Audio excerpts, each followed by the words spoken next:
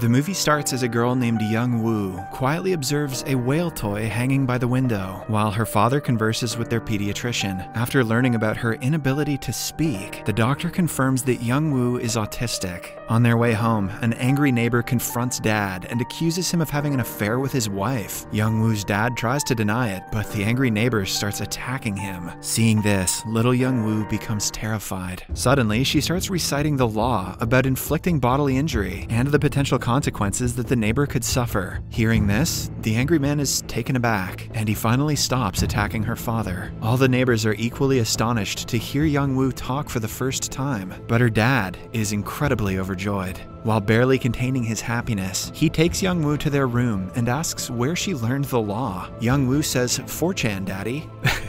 She shares that she learned while reading many of her dad's books about criminal law. She further goes on to reveal the rest of the articles from the book. Later, the neighbor's wife visits to apologize for her husband's behavior, and let's be real, probably to get some seconds, and delivers some ointment while Young Woo's dad cries tears of joy. Both are more than impressed to find that Young Woo is actually an autistic genius. In the present, an adult Young Woo wakes up for her first day of work. Her room is decorated with whale toys, as she's obsessed with the mammal. Before leaving, her dad instructs her not to talk about whales in the office. While Young Woo heads out for her first day at work, dad is proud as his daughter is the first ever autistic attorney in all of Korea. When Young Woo finally arrives at her workplace, Hanbada Law Firm, she meets a man named Jun Ho, who guides her in the lobby and takes her to her superior, Attorney Jung's office. Young Woo then meets Jung along with his associate, Su Yeon. After Young Woo briefly introduces herself, Attorney Jung takes her application to CEO Han and confronts her for accepting Young Woo despite her autism. However, CEO Han negotiates with Attorney Jung and makes a deal to give Young Woo a chance. According to the deal, Young Woo will be immediately fired if she isn't up to standards. After returning to his office, Attorney Jung gives Young Woo her first case. It involves an old lady in her 70s, Miss Choi, who has hurt her husband, Mr. Park, with an iron after they got into a heated argument.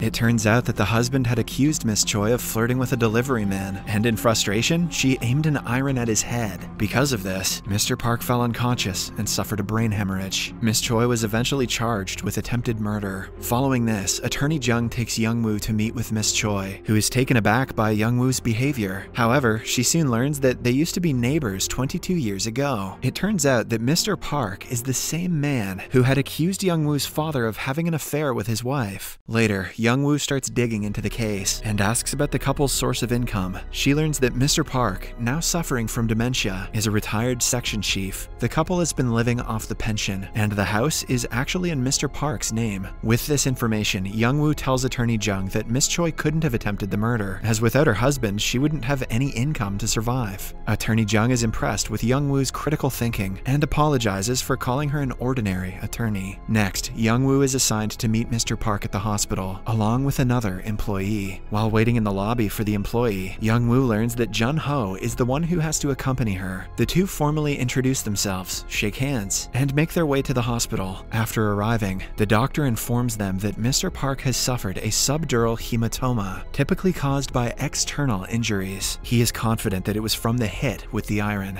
Afterward, the two go to the room where the elderly couple is staying. After learning that Young Woo is the same girl who recited the laws to him 22 years ago, Mr. Park feels threatened. Hence, he starts hurling obscenities at her. Because of this, Young Woo and Jun Ho are forced to leave, while Miss Choi tries to calm her husband down. After their messy ordeal at the hospital, Young Woo and Jun Ho return to Attorney Jung's office. Attorney Jung declares that they should try to push the case into a jury trial to give Miss Choi the best chance of winning. In the next scene, it's trial day, and Young Woo looks around the courtroom before settling in. The case begins, but Young Woo struggles to check in when the judge takes attendance, prompting Attorney Jung to speak for her. However, when she notices her friend and dad among the attendees, she gathers some courage and starts representing the defendant. Young Woo begins by clarifying to the court that she has autism spectrum disorder, so her speech and behavioral patterns might be a bit awkward. During their questioning, the prosecution is much harsher on Miss Choi, but Young Woo manages to help Miss Choi with some of the questions. After the case concludes for the day, Attorney Jung confronts the prosecutor for being too harsh on Miss Choi, but the prosecutor makes it clear that he isn't backing down. Attorney Jung then concludes that they have no choice but to bring Mr. Park in himself to testify in court. The next day, in the hearing, Mr. Park appears in the courtroom. Seeing him, Young Woo gets nervous, as the man is infamous for his sudden outburst. However, Attorney Jung encourages Young Woo to use this as a weapon so that everyone can see the real nature of Mr. Park. Young Woo agrees, and when she approaches Mr. Park, as expected, he gets upset and starts hurling obscenities. His intense reaction makes the judge order him out of the courtroom before the trial can resume. After a while, Young Woo starts her statement, but there's a problem. Mr. Park died on his way to the hospital. The news shocks everyone in the room, and the charge will now change from attempted murder to murder. I guess she struck while the iron was hot.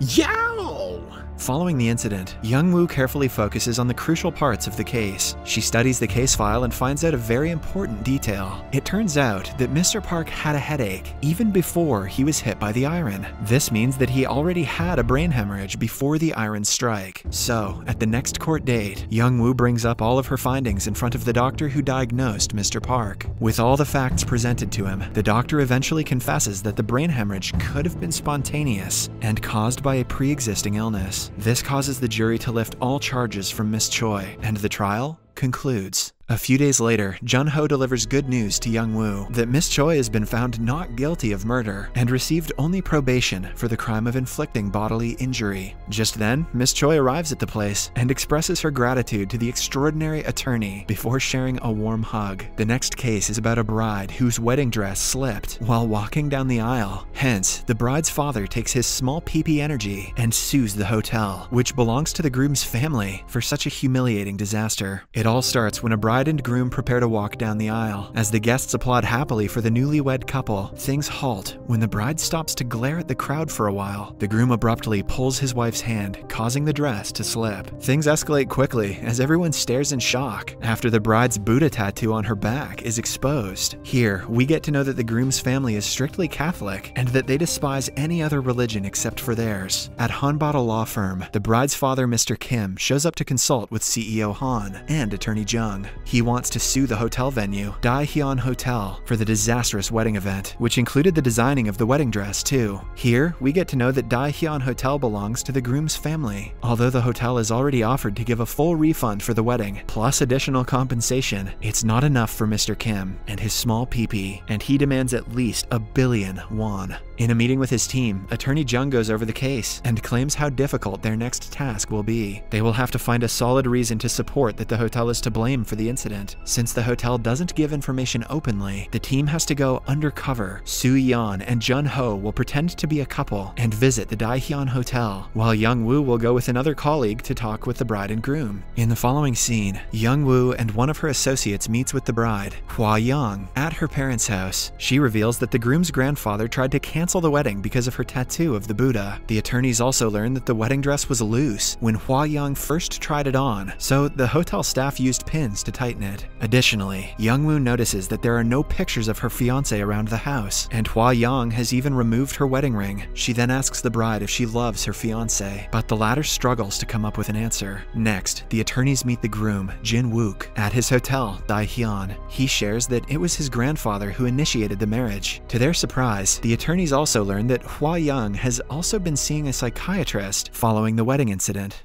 Meanwhile, Min Woo and Soo Yeon are tasked with confronting the hotel as undercover agents. They have to try on some wedding dresses so that they can find something suspicious and use it against the hotel in their ongoing case. However, Soo Yeon suddenly gets an upset stomach and rushes to the hotel restroom. Since she doesn't feel too well, Soo Yeon stays behind in the toilet and asks Young Woo to go in her place. As a result, Young Woo reunites with Jun Ho and tells him that they will have to call each other sweetie now, meaning the two will have to act as a couple couple. They hurry for their meeting with the director of the wedding business. Later, they sit on the hotel sofa and pretend to book a wedding date. After a while, they also look at the available dresses and pick out a dress similar to the one Hua Young wore for her wedding. The director isn't satisfied with Young Woo's choice of dress, but the latter is adamant about trying that fit. In the meantime, Su Yeon, who is still suffering from her stomach ailment, overhears Ji Hai, a hotel employee, talking in the restroom about how another employee was fired following the dress mishap. She immediately calls Jun Ho and informs her about the finding. Jun Ho then follows Ji Hai into the staff room and inquires about the fired employee's contact information, but she isn't willing to give away the information so quickly. After a while, Jun Ho returns to the room where Youngwoo is clad in a white gown with a bouquet in her hands. Jun Ho is at a loss for words after seeing her. However, they don't find anything suspicious with the dress. The only sus thing is that she must be on the run from heaven, cause she looks like an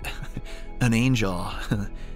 That sucked. In the next scene, Attorney Jung and his team sit with the judge and Daehyun Hotel's legal team. It's clear that the hotel's team isn't backing down, since it can damage their reputation. While Young Woo and Jun Ho spend some alone time together at a bakery, they spot Ji Hai and again plead for the fired employee's contact information. This time, Ji Hai finally opens up about the incident and informs them that the employee has left the country. Moreover, she also agrees to be a witness to the case and testify in court. On the first day of the trial, Ji Hai arrives to testify as a witness to the wedding incident. She testifies that the incident was not completely an accident and reveals that the dress was torn by the fired employee, Lisa, on the morning of the wedding. With time running out, the team director scrambled for a replacement with a larger size of the same dress. Because of the mishap, Lisa was humiliated and fired immediately after the wedding. This puts the hotel at fault, but it's not a win yet for Team Hanbada. In a shocking turn of events, the hotel's attorney calls upon the bride to the stand. There, they reveal that the bride had made posts on a website called Waggle, where she confesses her relief at the outcome of the ceremony. Apparently, she's not into the groom, and only went ahead with the arrangement because her father wanted to be in-laws with a wealthy family. Attorney Jung and his team are shocked to hear this side of the story, and later convince Hua Young to tell the truth.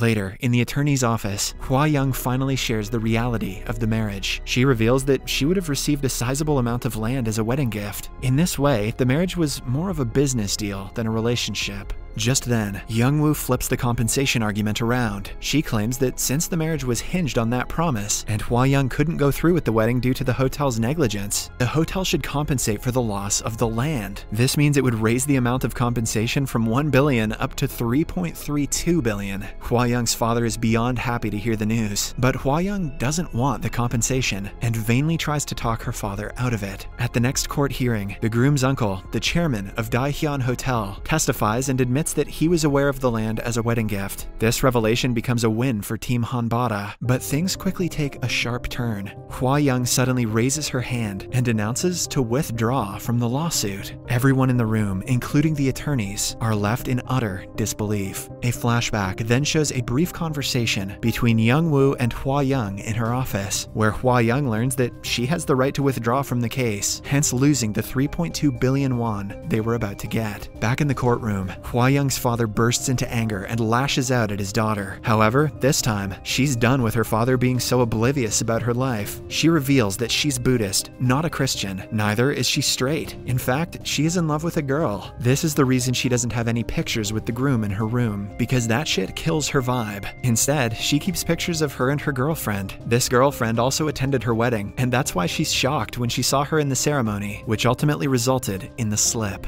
With her newfound confidence, she marches out of the courtroom with her girlfriend, while her father has a mini heart attack. Good. After the case concludes, the team heads out together for a meal on CEO Han's treat. Gang, we're going to McDonald's. Following the dinner, Jun Ho waits outside the restaurant for Young Woo, but she is in a hurry to go home. When Young Woo arrives home, she delivers some seaweed sushi to her dad. The father-daughter duo then starts chatting. The whole wedding saga has Young Woo thinking about her future, and she admits to her dad that she probably won't be able to get married because of her autism. However, if she does get married, she's definitely giving her bouquet to daddy, as she she'd like to see her single father get married after she does. In other words, even with my handicap, I got a better shot than you do, you dork. Subscribe for more videos like this, turn on notifications, and leave a like to help the channel out. Thank you for watching.